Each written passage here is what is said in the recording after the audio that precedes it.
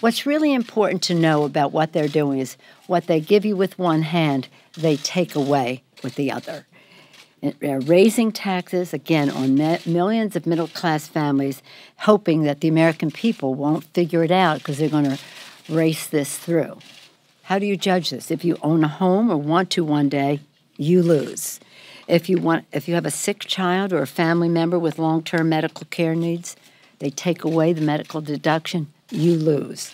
If you want to have if you have student loans or want to have student loans or use the credit for lifetime learning, there's a credit for lifetime learning, you lose. Uh, if your family lives in a state, any state, uh, and don't want your income taxed twice, you lose.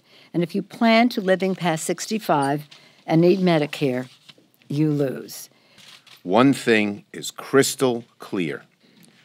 This plan is a tax burden that ought to be on the backs of the wealthy and the biggest corporations, but instead it drops it squarely on the backs of the middle class.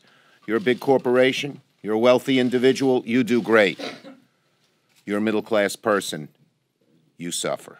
We see what our Republican colleagues are doing. The bill comes out Thursday, they want to start marking it up Monday. A bill of enormous complexity that affects millions of people in so many different ways. That's a disgrace.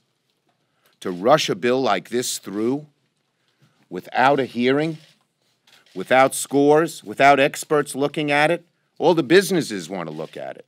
Everybody wants to look at it. They're trying to rush it through. Why? They're ashamed of this bill.